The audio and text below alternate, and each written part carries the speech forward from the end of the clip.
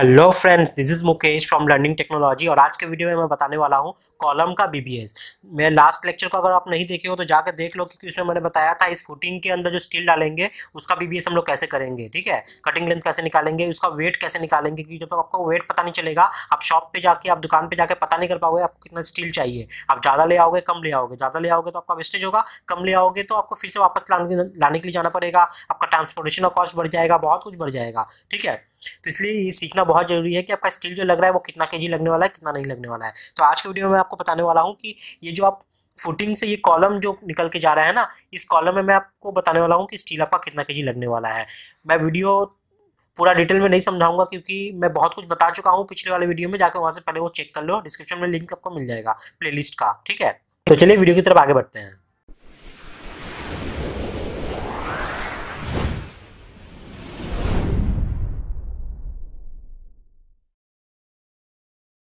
अब देख लीजिए, ये आपका प्लान है तो ये प्लान में ये आपका कॉलम है, ठीक है? तो total fourteen number of column है। इसी कॉलम में स्टील कितना लगने वाला है, वो बताने वाला हूँ। पहले आप देख लीजिए, ये आपको, ये सेक्शन आपको देखना होगा। तो ये आपका फुटिंग है। फुटिंग का ये स्टील आप देख रहे हो, ये ब्लैक कलर का ये जो है, ये एक्स डायरेक्शन का स्टील है, ये रेड कलर का जो आप देख रहे हो, ये वाइट डायरेक्शन का स्टील है। और इसके ऊपर ये कॉलम का स्टील ऐसे खड़ा हो रहा है। और ये ब्लैक ब्लैक में जो देख रहे हो, ये स्टीरअप है, ठीक है?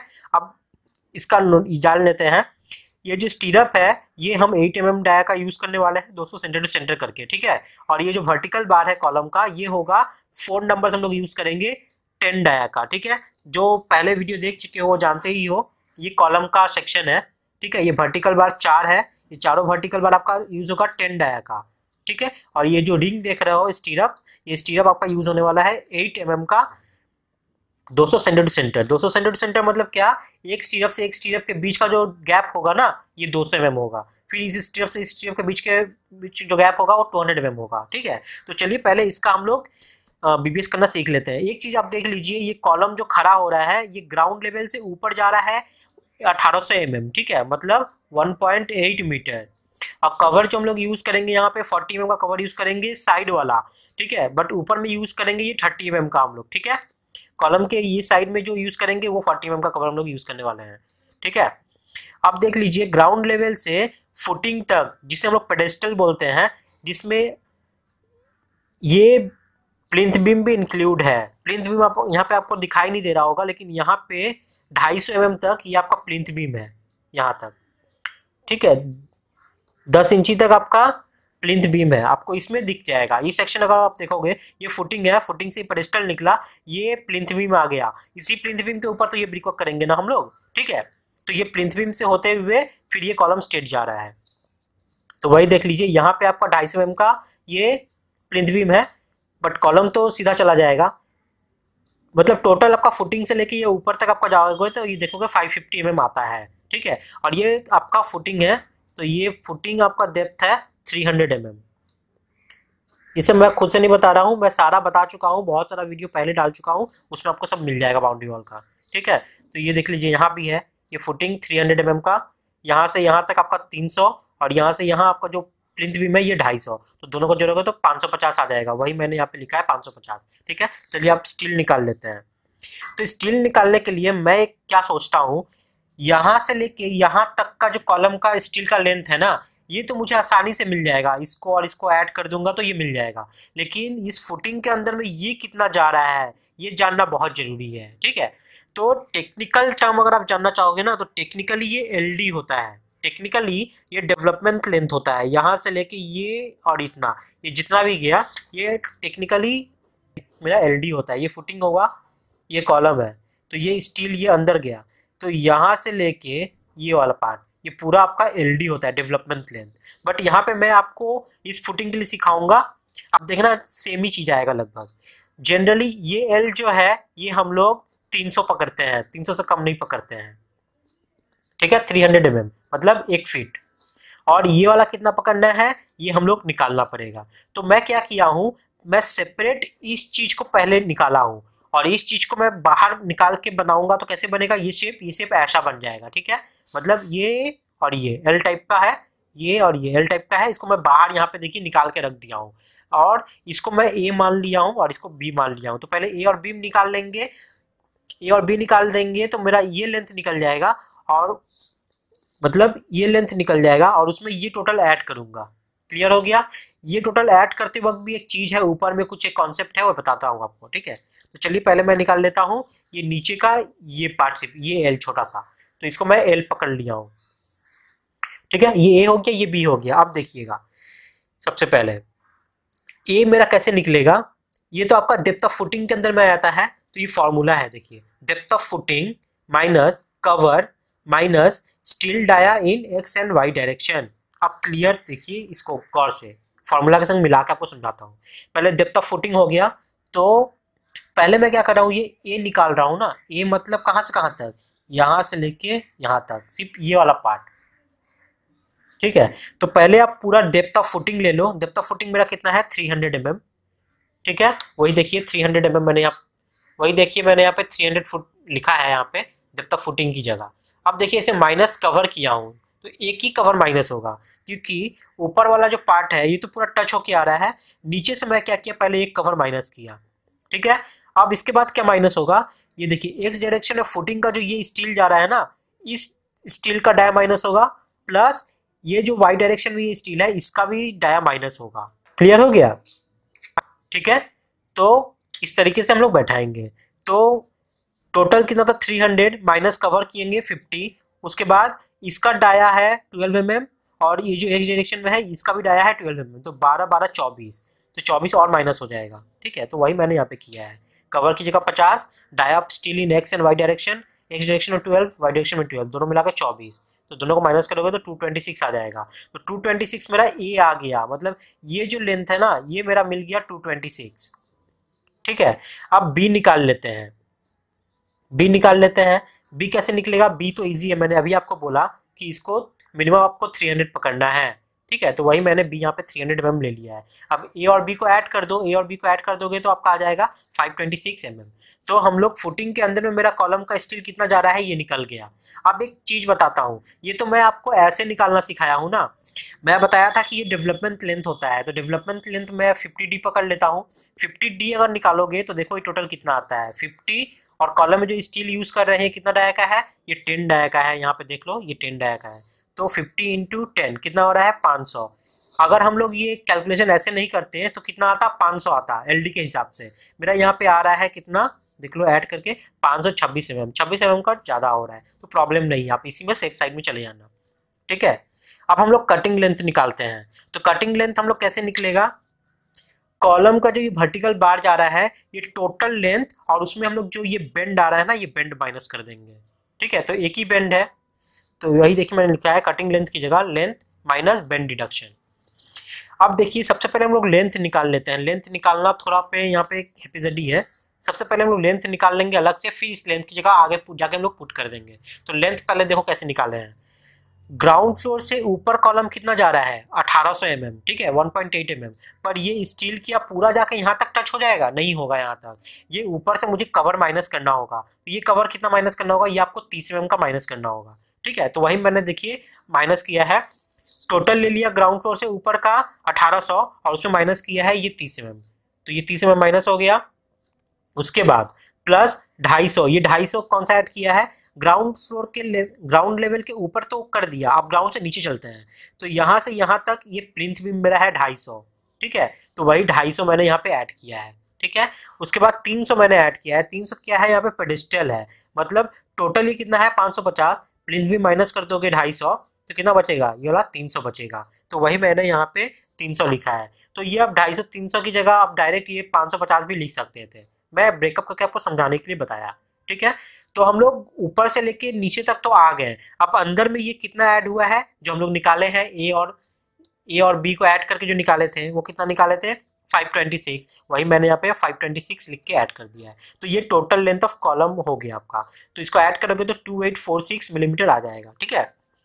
तो ये आपका लेंथ हो गया। इसमें आपको बेंड डिडक्शन करना है। नीचे में देखिए एक ये 90 का बेंड आ रहा है ना इस स्टिल में, इसको बेंड माइनस करना होगा। तो बस सिंपल है। कटिंग लेंथ में लेंथ की जगह ये टोटल जो लेंथ निकाले वो बैठा दो, माइनस। बेंड डिडक्शन में नंबर ऑफ़ बेंड कितना है? सिर्फ़ एक ही बेंड है। मतलब हम लोग एक स्टील का पहले निकाल रहे हैं। एक स्टील में कितना है? एक ही बेंड आ रहा है। तो वन और एक बेंड के लिए कितना होगा? ये 90 डिग्री का बेंड है तो टू डी माइनस होगा। तो टू डी डाया कितना है? डाया ऑफ़ बार मेरा 10 एम mm बाया है, ठीक है? तो बस इसको कैलकुलेट करोगे तो आपका आएगा two eight two six millimetre इसको मीटर में कन्वर्ट करोगे तो आएगा 2.825 ठीक है? यहाँ पे देखिए 2.826 आएगा, मैं इसको राउंड ऑफ़ करके 2.825 कर दिया हूँ तो इतना मीटर हो गया। तो 2.825 मेरा एक स्टील बार के लिए लगेगा, आप समझ गए? ये कॉलम का सेक्शन देखोगे ना तो कॉलम का सेक्शन में ऊपर से देखोगे तो चार वर्टिकल बार है। तो एक वर्टिकल बार जो होगा, वो टोटल कितना लंबा होगा? वो होगा टू मीटर का। तो टोटल मेरा यहाँ पे कितना है? कितना बार है? एक, दो, तीन, चार चार बार है ना कॉलम में? तो मल्टीप्लाई कर देंगे चार से तो फॉर वन नंबर्स कॉलम एक कॉलम के लिए स्टील कितना लगेगा? 2.825 जो हमारा निकला एक बार के लिए इंटू फोर कर दो तो 11.3 मीटर मतलब मेरा यहाँ पे एक कॉलम जो है, एक कॉलम स्टील कितना मीटर लगने वाला है? 11.3 मीटर तो टोटल कॉलम मेरा कितना है? 14 नंबर्स कॉलम है। जिन्हें पता नहीं है, देख लीजिए, ये प्लान में आपको पता चल जाएगा कितना कॉलम है आपका। एक, दो, तीन, चार चार चार, आठ, इधर चार है आठ नौ, दस, ग्यारह, बारह, तेरह, चौदह। चौदह कॉलम है। तो एक कॉलम के लिए मेरा टोटल इतना मीटर निकला है तो चौदह कॉलम के लिए मेरा इतना आ जाएगा। मल्टीप्लाई कर देना। For fourteen numbers column steel required eleven point three into fourteen one fifty eight point two metre, ठीक है? तो हमारा फोर्टीन नंबर ऑफ़ कॉलम के लिए स्टील कितना आ गया? One forty one fifty eight point two metre मेरा टोटल स्टील लगने वाला है कॉलम में। ठीक है? अब ये तो हमारा वर्टिकल बार हम लोग निकाल लिए वर्टिकल बार से निकाल चुके अब हमें निकालना है स्टीरअप को। स्टीरअप का भी तो स्टील लगेगा ना। तो स्टीरअप का आप सेक्शन देखोगे तो देख लीजिए कुछ इस तरीके से ये सेक्शन है। ये ब्लू कलर में जो आप देख रहे हो ना, ये स्टीरअप है, ये मेरा हुक है। या ये हुक आपको लेना है टेन डी ठीक है? चलिए, अब आगे, और स्टीरअप का जो डाया है एट एम का है, दो सौ सेंटीमीटर ठीक है? अब देख लीजिए कटिंग लेंथ अब स्टीरअप क्या होगा? Two into A plus two into B plus hook minus bend अब ए और बी क्या है, ये आपको मैं बता देता हूँ यहाँ पे। देखिए ये आप देख रहे हो कॉलम का हुक आपका ए है यहाँ से यहाँ तक। ये पार्ट है आपका ए और ये पार्ट है आपका बी ठीक है? मतलब जो स्टील है ना, वो है ए और बी तो ये कैसे निकलेगा? टोटल आपको पता है ढाई सौ। इधर से कवर माइनस करेंगे, इधर से कवर माइनस करेंगे तो बी निकल जाएगा। सेम ऐसे। इधर से ढाई सौ, इधर से कवर माइनस करो, इधर से कवर माइनस करो तो आपका ये ए भी निकल जाएगा। क्लियर हो गया? तो वही मैंने यहाँ लिखा है।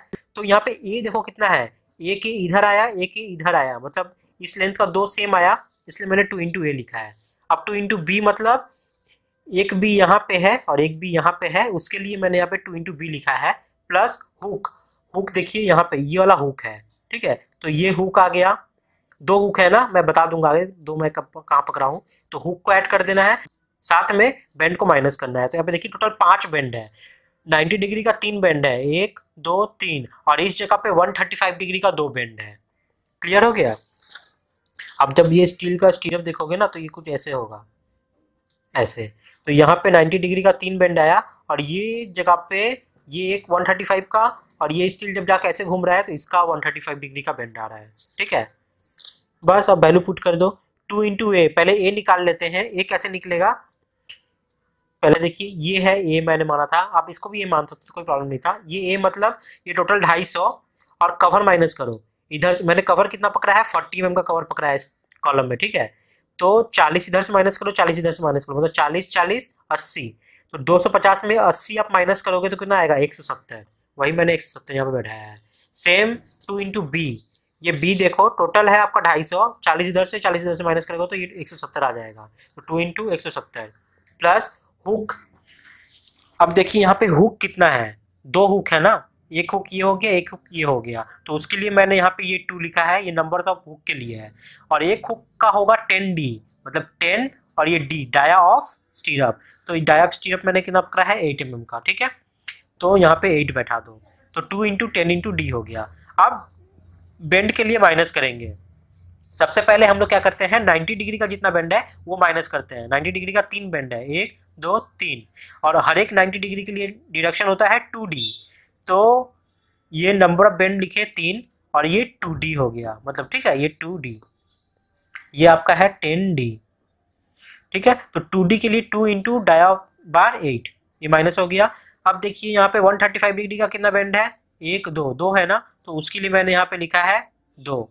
और एक 135 डिग्री के लिए हम करेंगे थ्री डी ये हो गया थ्री डी ठीक है? थ्री डी तो थ्री इंटू एट कैलकुलेट करोगे तो आपका आएगा seven forty four M M metre में मैं इसको राउंड ऑफ़ कर दिया हूँ zero point seven four five metre ठीक है?